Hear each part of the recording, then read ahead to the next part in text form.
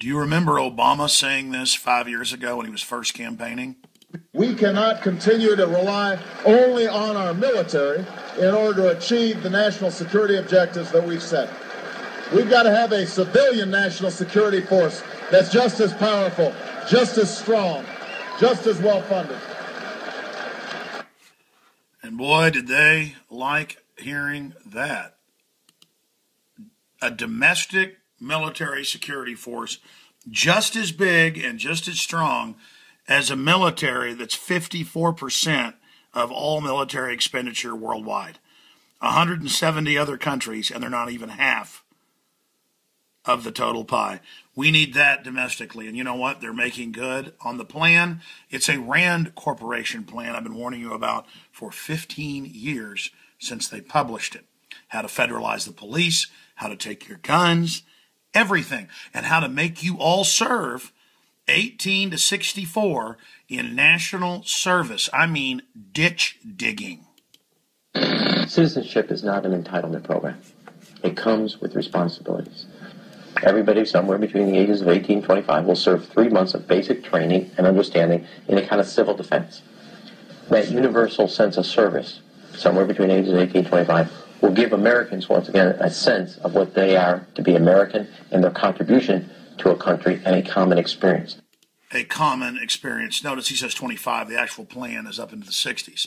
It's called FEMA Corps and they're graduating their first classes. Now, here's the big breaking news. And the reason this is so important is that if we can't force a debate on what's really happening, they're going to win. If they can just deny they've got domestic drones and deny secret arrest and deny warrantless wiretapping, which they now admit's going on, and deny the 2 billion bullets and the thousands of armored vehicles, which they deny, even though every police department's had them delivered it's been on your local news. You've seen them driving around, big giant wheeled tanks, but they say, I'm a liar.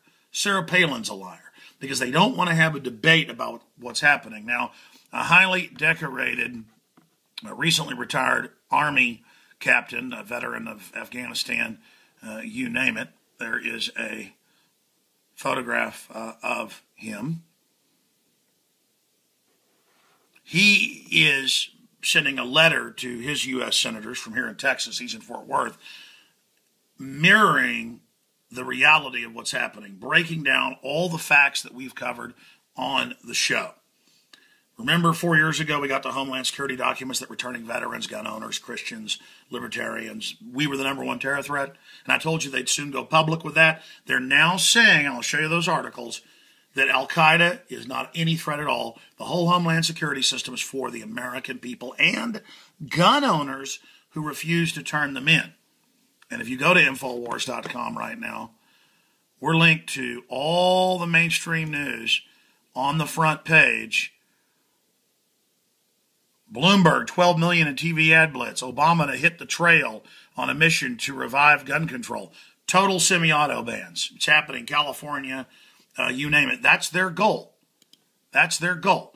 So, retired Army captain warns DHS acquisitions are bold threat of war against the American people. Yes, if Mexico was buying tens of thousands of armored vehicles and billions of rounds of, of ammo, and their own training manuals said that America was the enemy, you would then know they were planning a war against the United States, hypothetically. Obviously, not that Mexico is a real threat in that perspective only in sending so many poor people here, it collapses the economy via welfare, which is what the collectivists want as their new voting bloc. But that's a side economic warfare issue. He breaks down that under the Department of Defense, you have to commission officers through the Congress. That way, the president can't become a dictator. There's a separation of powers. He breaks down it's a clear military buildup. He breaks down everything we've covered how they're training to take on gun owners, conservatives, libertarians, and how this is a Hitlerian domestic coup. He's saying it's a bold threat of war and that it constitutes a coup, coup d'etat, against the American people. And folks, the same global mega banks that put Obama and others in, they've they've they've appointed leaders in places like Greece uh, and other areas, uh, Italy. They now appoint the governments. They call themselves technocrats. They call it the IMF World Bank shock doctrine. They, they plan to sign us onto their derivatives that we don't owe and then implode things to make us basically debtors on this global plantation. And let me explain something. On his Facebook, there are actual military people, and I followed it back to their sites. It's, it's real military people, the, the minority of them, saying, oh my gosh, DHS is allowed to do whatever they want domestically. Government can do whatever it wants. Department of Defense is military operations abroad. Homeland Security is here, can do whatever it wants. Okay? This is the type of stuff that we're talking about.